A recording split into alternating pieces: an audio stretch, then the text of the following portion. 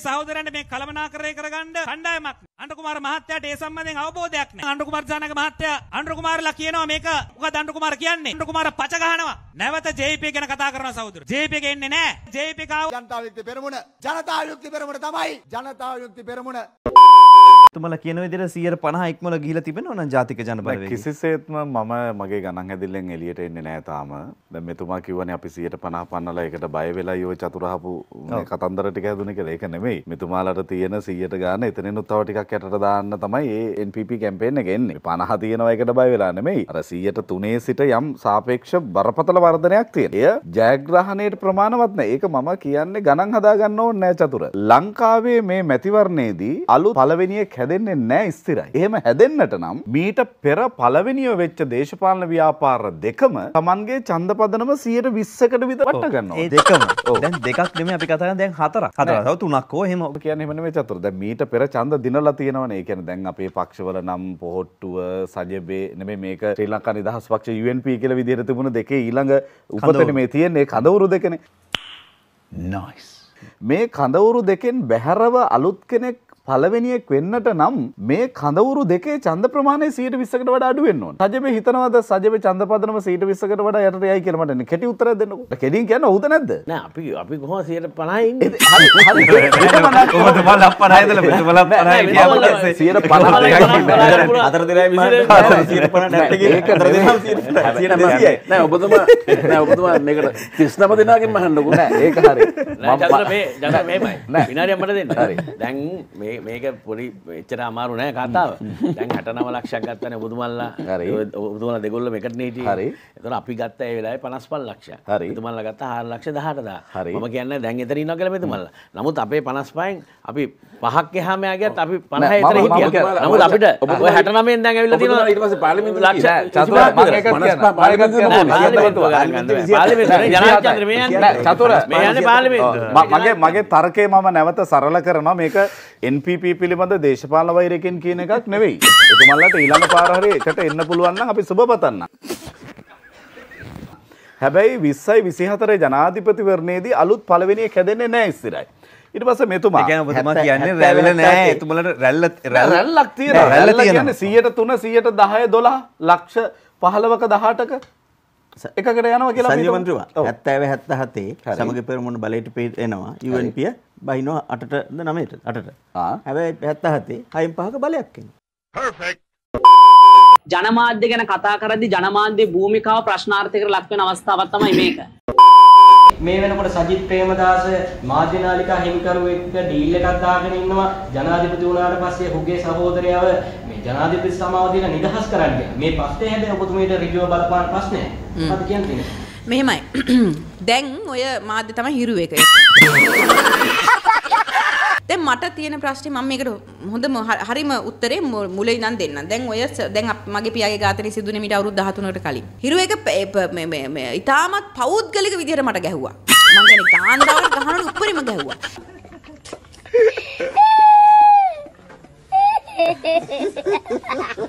එතකොට ඔය හඬපට සිද්ධිත් එක්ක පුදුම තරම් ලංකාව ඇතුලේ මේ මේ මේ මේක අනික් පැත්ත හරවන්න හැදුවා මේ අ, පද්මිනී රණවක මැතිනියට ශ- ශානි අබේසේන කවදාවත් කතා කරලා නැහැ. ඒක හිත- ඒක ඒක සම්පූර්ණයෙන් ඒගොල්ලන් මැදිහත් වෙලා වෙච්ච දෙයක් නේ තමුන්ගේ නඩුව ෂේප් කරගන්න හරි. ඒක හරි. දැන් මෙතන තියෙන ප්‍රශ්නේ 2019 ජනාධිපතිවරණයේදී ඔබට මතක ඇති මොන තරම් හිරු එක වහන්සි වුණාද කියලා ගෝඨාභය රාජපක්ෂව ගේන්න. මොනවද නොකරේ?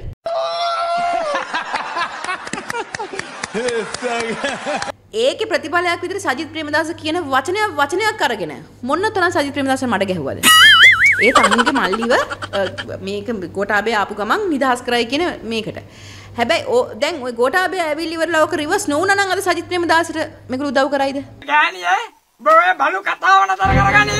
එහෙම නැත්නම් මං එළියට ආවොත් බවුල ඉඳලා යටිපතුල් වලට යනකම් බලු ගන්න ඕනේ. ගෝඨාභය ජනාධිපති වෙලා ඔය ගෝඨාභය ගෙනාපු ඒ ජනාධිපති සමව රිවර්ස් නොවුනා නම් අද තවමත් කියන්නේ රිවර්ස් නොවුනා නම් එහෙනම් මල්ලි එළිය නම් හරිද? අ, හිරු එක මේ වගේ කඩේ ආයිද? සජිත් ප්‍රේමදාසට නෑ යන්නේ නෑ.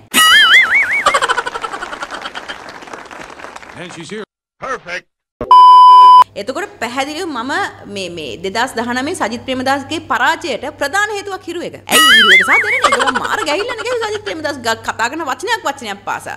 එක වචනයක් මිසුනොත් ඒක අනිත් පැත්ත ට්විස්ට් කරලා ඉවර වෙලා ගහලා තමයි නිවුස් එක හැදුවේ. දැන් මේගොල්ලෝ මේ ගි- මේ ඒ දවස්වල ඒ කාලෙම තමයි අපි හිරු එක කියන්නේ ඒ කාලේ තමයි අපේ පාක්ෂිකයෝ ඒ තරහට තමයි හිරු එක බලන්නේ නැවැත්තුවේ. ඒ කියන්නේ සජිත් ප්‍රේමදාසට ගහන ගැහිල්ලට.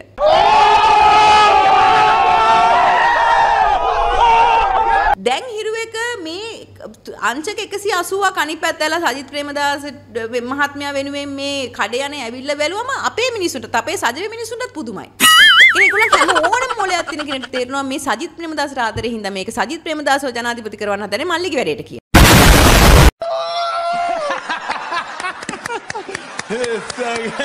සජිත් ප්‍රේමදාස ආදරේ හින්දා මේ කරන වැඩක් නෙවෙයි. එතකොට පෞද්ගලික උමනාවල් මත සජිත් ප්‍රේමදාස වෙනුවෙන් අ, මේවා එදා ගෝඨාභය වෙනුවෙන් කඩේ ගියාද සජිත් ප්‍රේමදාස වෙනුවෙන් කඩේ යන මිනිස්සයා අවංකව සජිත් ප්‍රේමදාසගේ අතින් ඕක සිද්ධ වුනේ නැත්නම් අනිත් පැත්තට සජිත් ප්‍රේමදාසට ව ඉවර කරන්න ගහන්නේ නැද්ද මාධ්‍ය භාවිතා කරන්නේ නැද්ද එහෙනම් පැහැදිලිව මට කියන්න තියෙන්නේ මුලින් සජිත් ප්‍රේමදාස මැතිතුමා ඇතුළු ඒ කණ්ඩායම තේරුම් ගන්න ඕනේ.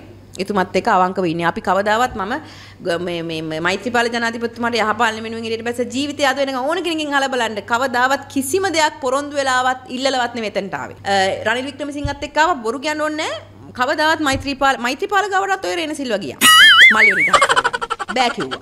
රනිල් වික්‍රමසිංහ ගාවට ගියා. බෑ කිව්වා. දෙන්නම් බෑ කිව්වා. ඒ නිසා තමයි ඒගොල්ලන්ව පරාජය කළවිලා ගෝඨාභය ගෙනාව එයා හා කියපු නිසා. සජිත් ප්‍රේමදාස එයාගේ කටින් වචනේ දීලා නැහැ. අයින් කරනවා කියලා. මොකද අ, මේ මේ නිදහස් කරනවා කියලා. මොකද එතුමා මං ආශ්‍රය කරන හින්දා එතුමා සාමාන්‍යයෙන් එතුමා ඔය වගේ දේවල් කතා කරන්න හැබැයි එතුමාගේ ළඟ ඉන්න කවුරු හරි ওই ඩීල් එක දාලා තියනවා. නැතුව නෙවෙයි. නැත්තම් ඔහම ඔය තරම් 180ක් වෙනස් වෙන්න විදියක් නැහැ නේ හිරු එක. ඉතින් මට කියන්න තියෙන්නේ තව දුරටත් ඕනෑම නායකයෙක් රට ඇතුලේ නායකයෙක් වෙන පුද්ගලයා මාධ්‍යයට ඕන විදිහට නටන පුද්ගලෙන් නොවිය යුතුයි. අ, අනිත් එක තව දෙයක්. දැන් කාලේ ඔය ඔය වගේ මාධ්‍ය බල- බලන්නේ නැහැ මිනිස්සු. ඒ කියන්නේ මිනිස්සු මේ මාධ්‍ය බලලා ඔය නිවුස් බලලා තීරණය කරන්නේ නැහැ. සජිත් ප්‍රේමදාසට ඔය කා- ඔය ඔය මාධ්‍යවල ඔය වැනි ඩීල් කාරයන්ගේ උදව් ඕනේ නැහැ ජනාධිපති වෙන්න.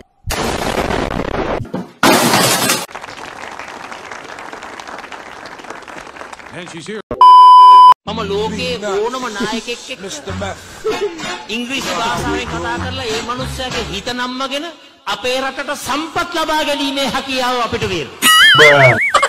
Sri Lanka fits here? Do you think Sri Lanka should consider joining an effort like this?